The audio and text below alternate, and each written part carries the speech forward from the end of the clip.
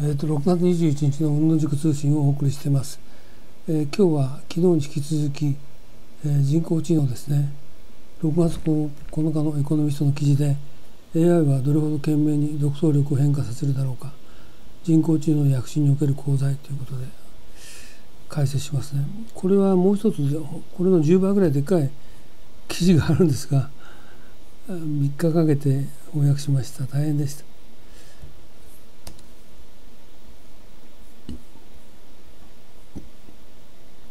その結果生まれたモデルは人間ではない新しい形の創造的な知性であるこのシステムは言語を理解すると同時にルールを筋を通して破ることができるほど洗練されている、まあ、ルールを筋を通して破るっていう意味はどういうことか分かりませんけれどもまああの非常にフレキシブルだってことだと思いますね。犬はニューヨーカー氏のジョークを笑えないが AI はなぜかそれを面白いかを説明できる。まあそういうことですね。ルールを破るっていうのは。これは正直なところニューヨーカーの読者には到底できない芸当です。芸当だ。このモデルに雑誌のタイトルだけを使ったコラージュを作成してもらったところ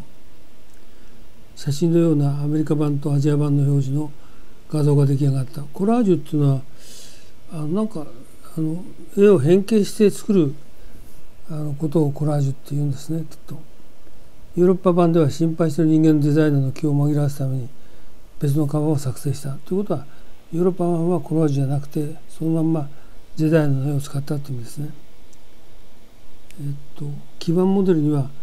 いくつかの驚くべき驚くべきそして有用な特性がある。最も得体の知れないことは突飛な行動でつまり意図的な設計の結果ではなくモデルのサイズと深さから生じるスキル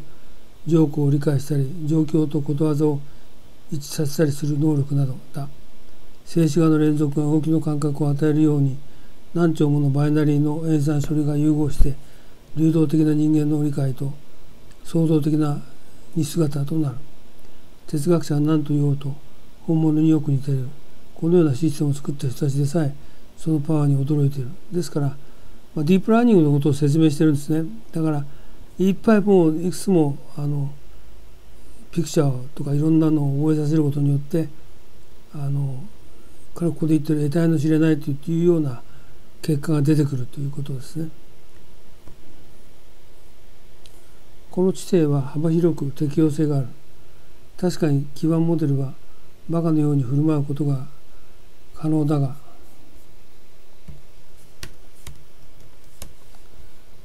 それなら人間も同じだ。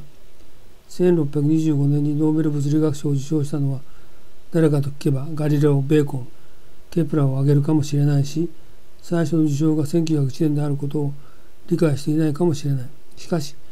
それ以前の AI にはない適応性がある。おそらく絵創作コンピュータプログラミングなど異なる分野のシンボルを操作するルールにあるレベルで類似性があるためだ。例えばタンパク質が3次元でどのように混ぜ合わさっているかを予測して新薬を新薬を見つける手助けをしたりデータセットから興味深いグラフを選択したり巨大なデータベースを検索して自由形式の質問に対処し新しい研究分野を切り開く答えを作ったりすることができる。まあ、ディープラーニングの説明ですね。で、これで僕は知らなかったです、とんでもでかいコンピューターをですねとんでもないそのフォーミュラーをパラメータを設定してこうしたことをやってるんですね。ですからあの、まあ、新しい形の創造的な姿勢ということでいろんなそのまあジョークを理解したりというそういうもう膨大なデータを覚えさすことによってそこからですねあのここでエコノミストの表紙を作成したりそういうことをさせることができるようになったんですね。でまあ突飛な行動って言いますから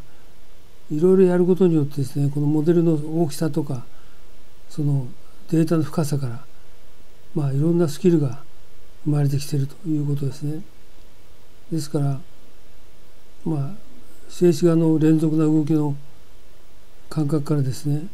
実際には流動的な人間の理解とか創造性をですね醸し出すで実際のそのあたかもあの人間のような感覚を与えるような現象を起こしたりするということですね。であとなんかその1625年のノーベル物理学賞を受賞した人はしたのは誰かと聞いたらそれにはその答えたりするかもしれないというようなことを言ってるんですね。ですからあの類推をですね働かせて、まあ、いろんな成果を出すことができる新製品とか新薬とかあの新たな可能性に対する研究分野とかってことを見出す可能性があるということをここでは言ってるんですね。